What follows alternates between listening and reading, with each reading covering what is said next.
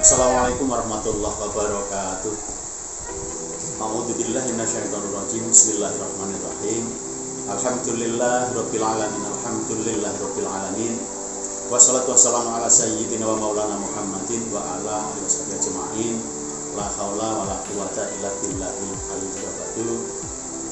Ibu, Bapak, Dewan Guru dan staf tata usaha SMP Negeri 1 Perak yang sangat saya hormati dan anak-anakku sekalian yang sangat saya banggakan.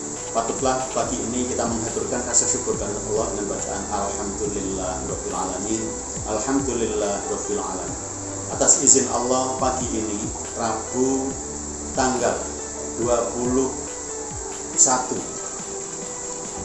September tahun 2022 kita melaksanakan pesta demokrasi pemilihan pengurus OSIS masa bakti 2022 sampai 2023.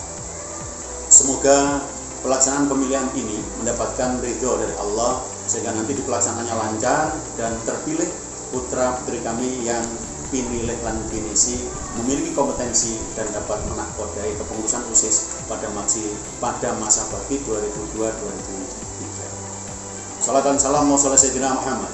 Semoga tetap terlimpah curahkan kepada Nabi Muhammad Wasallam. Ibu bapak dan anak-anakku sekalian, selaku pemilih dan calon pengurus, perlu kami sampaikan beberapa hal terkait dengan kegiatan pesta demokrasi seperti ini. Ini memiliki makna yang sangat besar, apalagi jika kita kaitkan dengan pembelajaran profil penguatan penguatan profil pelajar Pancasila yang sedang digaungkan dan diinstruksikan oleh Kementerian Pendidikan Kebudayaan dan Riset Indonesia ini. Satu sisi, anak-anakku sebagai calon pengurus, tentu kalian harus sudah bisa mempersiapkan diri. Manakala dalam hasil pemilihan nanti, kalian akan terpilih menjadi kepengurusan, hendaknya kalian dapat memposisikan diri, dapat menempatkan diri sebagaimana yang diharapkan. Yang pertama, di pundak kalian ada satu tugas besar, yakni untuk sekali lagi untuk menahkodai, untuk memimpin era kepengurusan pada periode ini. Dan yang tidak kalah pentingnya perlu kalian ketahui bahwa ketika kalian duduk di kursi kepengurusan, tentu ada sesuatu yang harus dipersiapkan. Karena kalian sebagai penggerak motor kegiatan di sekolah, tentu aktivitas kalian tidak terfokus hanya untuk mencari ilmu belajar di bangku kelas. Kalian harus membagikan, kalian harus dapat menyempatkan untuk perhatian, untuk fokus pada kegiatan di sekolah ini. Dan kalian tidak usah takut dan kalian tidak usah khawatir.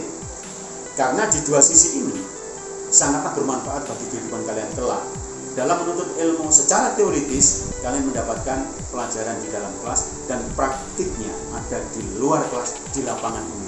Justru kalian-kalian ini nanti yang akan mendapat kesempatan terlebih dahulu untuk mengaktualisasikan ilmu yang kalian peroleh di kelas diterapkan di sekolah. Tentu pengurus OSIS harus militan. Anak-anak, sekali lagi siapkan diri kalian untuk menjadi pemimpin. Yang kedua, harus mampu menjadi teladan dari 856 peserta didik yang ada di sekolah ini. Untuk anak-anakku calon pemilih, kalian mendapatkan kesempatan untuk melakukan aspirasi kalian. Mohon amanah ini diberikan, mohon amanah ini dilaksanakan sebaik-baiknya. Pilihlah calon-calon pengurus OSIS yang visioner, yang memiliki wawasan ke depan, yang memiliki dedikasi, yang memiliki pengabdian. Mohon jangan gunakan hak kalian untuk tidak pada tempatnya artinya ya bisa ikut grup atau anut-anutan jangan insya Allah para calon ini telah memproklamasikan diri telah mengenalkan visi dan misinya maka pada kesempatan ini salurkanlah aspirasi kalian sesuai dengan yang kita harapkan bersama-sama tentu calon kepengurusan yang kalian pilih adalah memiliki kredibilitas yang cukup bagus di sekolah ini bisa memberi teladan, berkompetensi, dedikasi dan tentunya ada sebuah pengabdian besar. Selamat melaksanakan pesta demokrasi. Semoga Allah senantiasa meridhoi sehingga terpilih pengurus khusus masa bakti 2022-2023 yang kompetensinya cukup bagus, dedikasinya bagus dan dapat mengabdi di sekolah ini. Terima kasih anak-anak. Sekali lagi selamat terima kasih. Mohon maaf di Dinas Mustaqim. Assalamualaikum warahmatullahi wabarakatuh.